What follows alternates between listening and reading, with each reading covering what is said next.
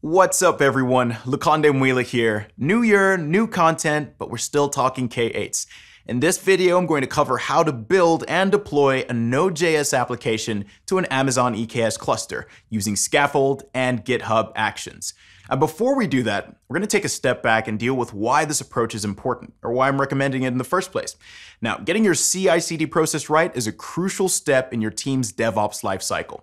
So the CI stage for starters is essentially the automating of the ongoing process for integrating software from different contributors in a team to a project version control system. In this case, we're working with GitHub.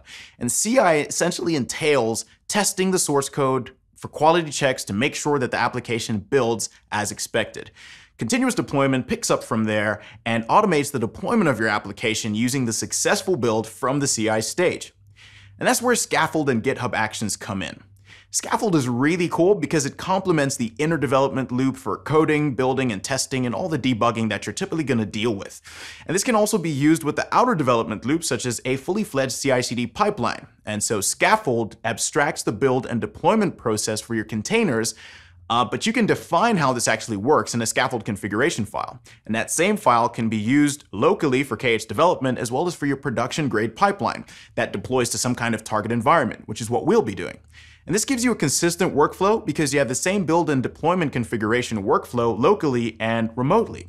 And GitHub Actions comes in because we're going to use that to define a workflow for how our application will actually be built, tested, and deployed to EKS using Skaffold. And it works really well because we're using GitHub for our repo. And so to have our CI staged carried out in the exact same platform really makes things easier. I've switched over to my editor and uh, what we'll do is kick off with just getting a lay of the land of the application, and I'll just go over some of the main components before I spend more of my time with the skaffold configuration file and the main.yaml file, which defines the steps for the GitHub actions. Uh, that's where we want to spend most of our time because that's the core focus of the video. If you've seen some of my previous ones, then you'll be very familiar with this source code in front of you. I typically use a basic Node.js application uh, for demonstrative purposes. And the only change I've made here, firstly, there's a single route, as you can see over here with the test endpoint, and I've modified the text to say simple node app is working as expected. Typically, I just use simple node app is working. But that change is on purpose so that we can commit and push to our main branch branch to actually trigger the pipeline. So this is all that's going on inside of this Node.js application. It's very basic. Uh, perhaps the only other thing that is of some relevance is the test over here. And so that is simply going to be a test for that specific endpoint as well to make sure that we're getting a 200 response um, to ensure that that route actually works as expected. Not to mention we should get a response of a string and um, we should also get the relevant text. Now, as you can see over here, uh, this is wrong. So our test would fail. So we need to modify that to simple node app is working. Oh, I am butchering this. There we go. Simple Node app is working as expected. And to, I could have probably just copied and pasted that, but where would the fun be? All right, so um, that is now matching our actual test, our actual text rather. So this means that this test should pass as expected. So we shouldn't have any issues in our pipeline. Next up is our Docker file. And again, this should look very familiar to you if you have um, experience with Docker files, but I will pop a link in the description as well, just so those of you who are brand new to Docker will know how to work through these manifest files. I'm not going to go through it in detail because it is not the focus. In addition to that, we've got our manifest file, and inside of this manifest.yaml file, we've got a deployment configuration and a service configuration. And so the deployment is going to make, uh, or rather create, three replicas for our pod for this um, express test Node.js application. As you can see over here, we've got three replicas defined, and under the template property is where we've got the specifics for our pod, and um, the application is listening for traffic on port 8080. And below over here, we've got our service, which will make sure that a load balancer is created in the AWS environment. And it's also going to be listening for port for traffic on port 8080 and will in turn forward that traffic through to the relevant pods um, that are going to be running inside of my Amazon EKS Kubernetes cluster. Great. And so just so you're aware that you can create these uh, manifest files beforehand, um, or alternatively, you can generate them with Skaffold as well if you just provide the relevant flag. So now that we've gotten that an idea of what's going on in the application, we can turn our attention to the more important aspects. And so for starters, we'll look at Skaffold over here. And Skaffold works with a configuration file to define how you build, test, and deploy your application. And there's a lot more that you can do with it.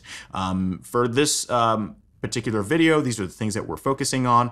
And as you can see over here, We've got these top level fields, build, test, and deploy, and they respectively deal with those areas. And so for the building process, um, I'm going to be building my image using a Docker file, which is specified over here as well, and it is contained inside of my source code. It's the one that I showed um, just a few seconds or a minute earlier. And um, I specify the image over here, and that way it will be able to identify the relevant repository that it should be working with.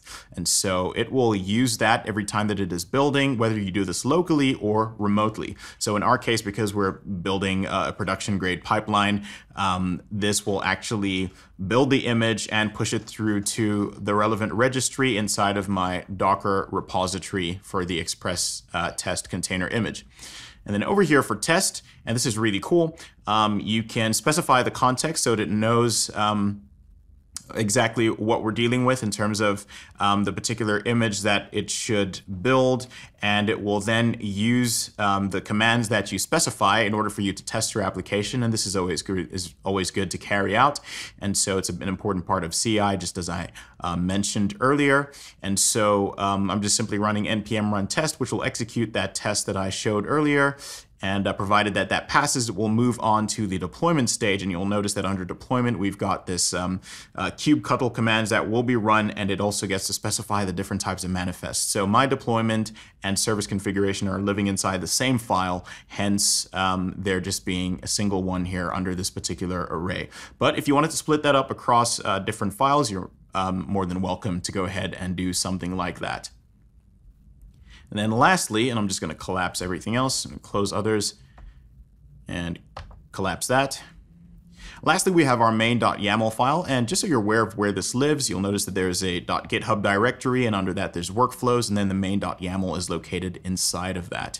And so this is the file that actually specifies or details exactly how um, GitHub Actions should go through the process of um, continuous integration, and then proceeding to deploy my application to the relevant cluster. So I'm just naming it build and deploy to EKS, and I'm dealing with a single main branch. And then under ENV, if you've worked with any CI tools, then this is probably going to be a, a no-brainer for you. So this is where you get to de determine some environment variables. And I'm storing a number of values inside of um, my secrets uh, section inside of GitHub. And this is a great way to store some sensitive data. And so I have an access key and a secret key for a specific AWS profile that I can make use of in order to have the relevant permissions uh, to carry out all the things that I want to do, such as connecting to the Kubernetes cluster in EKS, and then uh, being able to then proceed to run the relevant commands for deployment. In addition to that, I specify the cluster name, which is uh, I'm also storing inside of secrets, and um, also the region for it. In addition to that, I want to be able to connect to my Docker registry, because remember, during the build stage, the image will be built and then pushed through to the relevant repo and get pulled um, before um, and the images will be pulled uh, as part of the uh, deployment process inside of your Kubernetes cluster. So um, you're going to need to be able to access your registry. And so I have my Docker ID and password as well stored inside of secrets. And then we move on to the jobs section, which is um, the meat of um, everything else that has to be carried out. And so as you can see over here, um, I start with my steps and I, I, like to put comments in here just so it's a little easier to understand exactly what is going on. And so for starters, uh, just get the environment ready, such as installing the relevant Node.js uh, dependencies for the application. I go ahead and, um, as I mentioned, install them and then it can proceed to test. You don't need to carry this out, especially since there's already going to be a step for that when we run the relevant skaffold command, but you're more than welcome to do that as well. Um, after that, I then proceed to log into the Docker registry. And as you can see, I'm using the ID and password environment variables. And so you can actually, this is one way of doing it as I've specified over here. Alternatively, you can just put the direct environment variables, which you'll see me doing uh, a little bit lower. After that, I proceed to install kubectl and all of this, um, these commands are available on the official documentation, so you can fetch those for the relevant environment that you might be dealing with. You might not be working with um, a Linux environment. Um, and then I'll just proceed over here. And the next thing will be skaffold. So I proceed to install skaffold. Again, you can get all of this, uh, these commands from the documentation as well. And um, after that, uh, just because I want to make sure that the ongoing workflow is optimized and efficient, um, I just cache um, all the dependencies that get um, installed and downloaded so that um, it doesn't, the build time doesn't take long um, for uh, future builds that may take place.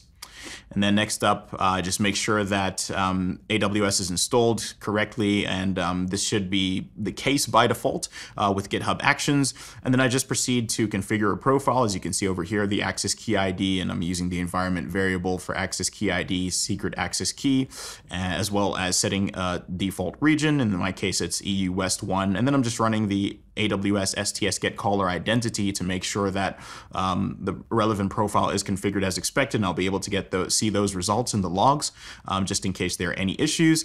And then the next thing is to connect to the EKS cluster and this command over here, AWS EKS uh, region and specify the region, update the kube config, and then specify the name of the cluster. And once that is done, um, the kube config details will be updated and I should be able to connect to my cluster after that. And then the only thing that is left to do is to make use of Skaffold to actually build and deploy to the EKS cluster. Remember, Skaffold is going to make use of the current configuration context for, your, for Kubernetes. And so all I have to do is run skaffold run, and this will go through the build and the build test and deployment process once. And um, once that is done, I can then just verify the deployment and I'm simply running kubectl get pods to see that I have the expected results. So all that I have to do now is I'm just gonna open the terminal in here. And I do have a couple of changes that are still pending, so I'm going to commit these changes. And we'll call it refactor. Updated text for test route. And I forgot a very important step. Once that's done, just run git push. I have switched over to my browser and what you're looking at now is the GitHub repository for this particular application and I'm in the actions section. And so as you can see over here the deployment worked as expected. All of the steps that I defined inside of my configuration file the main.yaml file passed successfully. And um, if you want to quickly verify that so some of the things that I'm most interested in is to make sure that the connection to the Kubernetes cluster worked as expected. And you can see over, you can see that over here, that the context was actually added to my kube config in the CI stage and then could go a step further, have a look at the, the build and deployment process using Skaffold. And so it goes through the process of actually building your container based on that Docker file and the image is created and pushed through uh, to Docker Hub. In addition to that, you can see that this is where my test was actually run and it passed successfully, which is great. And then very important is actually verifying the deployment. And so if you have a look over here, and so I run the kubectl uh, get pods uh, command, which you can see over there. And you can see we have those three replicas for my application uh, running successfully. And so the next thing is to just head over to the AWS console. And as you can see over here, I'm in the EC2 section, by the way, and I've headed over to load balancers. And so I just get that DNS name. And remember, this was created because of that uh, service that I defined inside of my manifest.yaml. And so if I just head over to um, another tab over here with the browser and enter that DNS name and you'll notice it's listening for traffic on port 8080 when the path is test and I get the expected response which is simple node app is working as expected. Thanks a lot for watching. I hope that was helpful. If so, hit the like button, subscribe to the channel, and if there's a particular topic you'd like me to cover, comment in the section below.